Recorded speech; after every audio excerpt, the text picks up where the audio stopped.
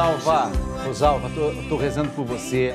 O Gilmar Rocha do Nascimento, você é de Embu das Artes e eu sei que você me escreveu, sei que você tem 31 anos de idade, que você se tornou benfeitor nesse mês e eu achei tão carinhoso você dizer assim, Dalcides, eu assisto todos os dias o seu programa e hoje eu peço, me, me ajuda a arrumar um emprego, eu vou pedir e vou pedir que o Brasil inteiro reze por você, sabe? De tal forma que você vai sentir uma paz, porque é o Brasil inteiro sendo colocado agora em oração. É isso que eu quero que aconteça, tá? Quem mais me escreveu? Foi a Miriam Souza, diz que ela já está conectada na Rede Vida pela TV online. Ah, porque ela baixou, baixou o aplicativo, não é isso? É, isso. Ó, eu amo o Escolhas da Vida. Parabéns para você e toda a sua equipe. Obrigado, Miriam. Que carinho seu. Quem mais me escreveu agora, nesse minuto? A Gerlana escreveu, a Verônica e família também, que estão precisando de libertação espiritual. Quem mais me escreveu? Tá aqui, ó. É, 30 anos ela tem, é a Josiane. Ela diz assim, Dalcides, eu estou precisando. Seu programa transformou a minha vida. Nossa, meu anjo. Dalcides, o seu programa transformou a minha vida. Eu assisto todos os dias. Obrigado, meu anjo. Que carinho seu. Ó, quero agradecer. Gerlane, você também me pediu oração, né? E pediu que o Brasil inteiro rezasse pela sua família. Vamos fazer o seguinte? As orações anotadinhas aqui, ó. Tá aqui, ó. O Gilmar Rocha do Nascimento, esses que já tinham escrito há um pouquinho mais de tempo. E eu queria só que você que está em casa soubesse o seguinte: eu vou colocar assim esse bilhetinho agora aqui nessa nossa caixinha de oração. Só que tem uma coisa: daqui a pouco eu vou abrir esse meu livrinho aqui, ó é um livrinho que eu tenho aqui, que eu gosto de deixar aos pés de Nossa Senhora. Eu vou abrir esse livrinho, não tem nada escrito, ó. Porque eu quero que aqui esteja o seu bilhetinho. Você já fez o seu bilhetinho? Se você já fez o seu bilhetinho, eu quero que você, sabe, traga esse bilhetinho aqui, ó, para esse livro, porque esse livro azul eu vou colocar aos pés de Nossa Senhora. Eu quero que você tenha uma paz muito grande, sabe? Uma serenidade muito grande. Gente, paz e serenidade a gente pode ter mesmo quando vem a tribulação na vida da gente. E a gente tem falado aqui sobre a importância, né, de se fazer o autoexame quando se trata dessa campanha, né?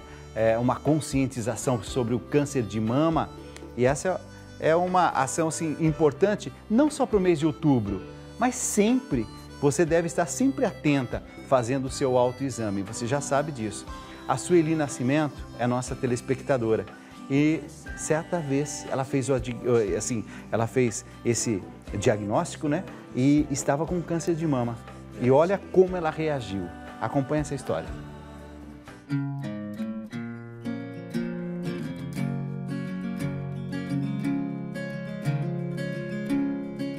Meu nome é Sueli Gomes do Nascimento, eu sou daqui de Jundiaí, no dia 13 de junho, eu recebi o diagnóstico que eu estava com câncer de mama. E aí eu comecei a fazer os exames pré-operatório. No dia 6 de dezembro eu fiz a cirurgia. A doutora pediu a mamografia e daí na mamografia deu que tinha nódulo. E depois ela pediu um ultrassom, no ultrassom deu que tinha dois nódulos. Quando eu recebi esse diagnóstico, em nenhum momento deixei abalar minha fé. Até a médica me perguntou né, se eu estava realmente entendendo o que estava acontecendo comigo, porque eu não fiquei nervosa, eu não chorei, eu não me desesperei. Encontrei uma amiga, minha amiga falou sobre a novena do Pai Eterno. Ela falou assim, Sueli, se você tem fé, comece a assistir a novena, começa para benzer a água todos os dias. E eu comecei a assistir a novena, do Divino Pai Eterno e comecei a tomar água e também passar onde eu fiz a cirurgia do câncer de mama. E aí eu comecei a assistir também o Conte Comigo com o Dalcides. A gente sente que ele está falando com a gente, do problema da gente. Ele fala, se você está com uma doença, se você está com câncer, mas não é só sobre mim, é sobre várias pessoas. Mas daí você se sente tocada.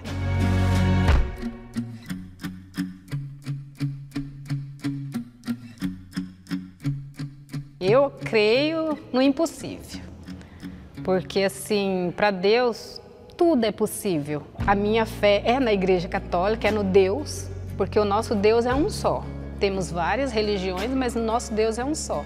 E eu quero ser curada, se tiver que ser curada, vai ser na Igreja Católica. Então não perca sua fé jamais. Por mais que você esteja ali no momento mais difícil da sua vida, você vai conseguir se superar. Tenha fé, não perca a fé de forma alguma. Porque o nosso Deus não é no nosso momento que ele vai realizar o milagre. Não é no nosso momento que ele vai nos atender. É no momento dele.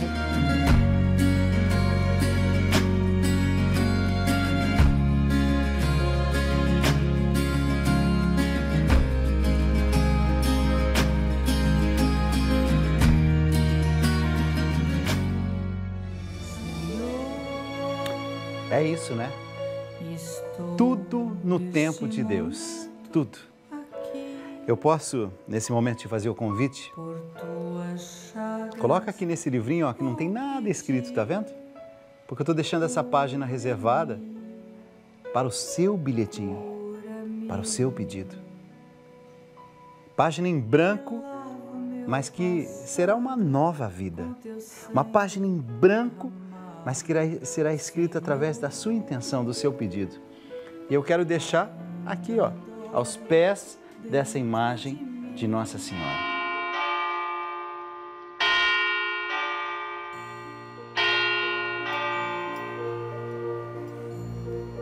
Chegou um momento tão esperado, tão especial. Eu tenho aqui esse livrinho e eu quero que você coloque sua intenção, seu pedido, aquilo que você está mais precisando. Qual é a graça que você quer? É o nome do seu filho? É o nome da sua filha, sua neta? Alguém que você tanto ama e que você diz está indo por caminhos tão difíceis, Alcides. Me deixa rezar por você. Me deixa colocar essa intenção nesse oitavo dia da nossa novena.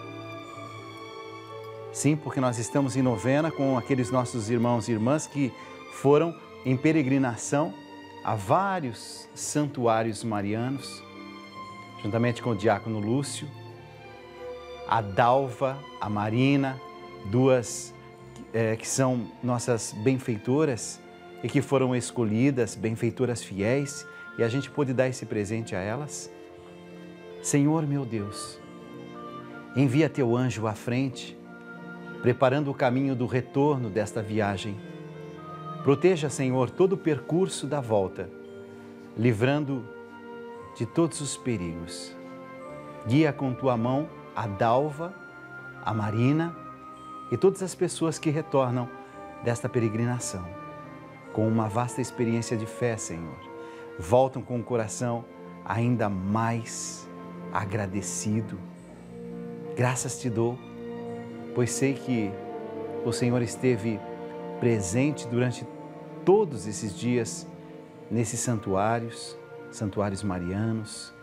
E eu quero te agradecer, porque nós demos a esse, essas duas benfeitoras a alegria de poder conhecer, de poder rezar, de conhecer santuários por esse nosso mundo. Dou graças por tudo isso. E agora eu peço, na intenção e no pedido daqueles que se unem a mim nesse momento, fazendo seus pedidos, colocando os pedidos aqui aos pés de Nossa Senhora. E por isso eu acendo essa vela. E eu peço, passa na frente, mãe, e vai cuidando de cada um dos teus filhos e filhas.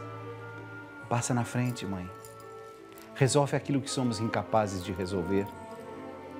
Cuida de tudo, mãe, de tudo aquilo que não está ao nosso alcance. Tu tens poder para isso.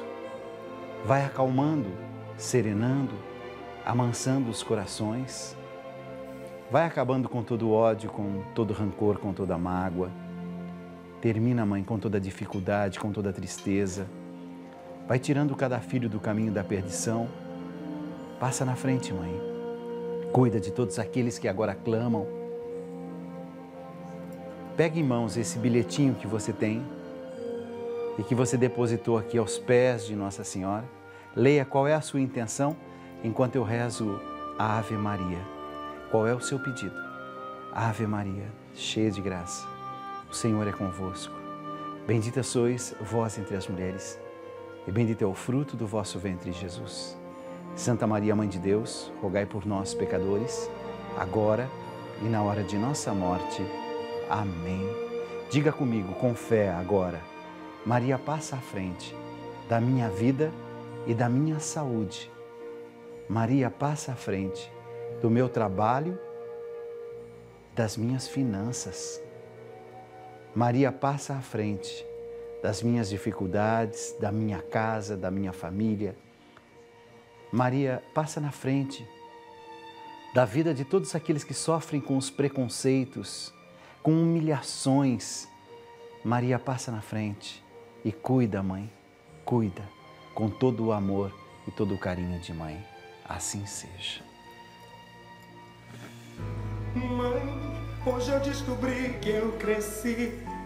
É que de repente eu me vi tão sozinho na estrada.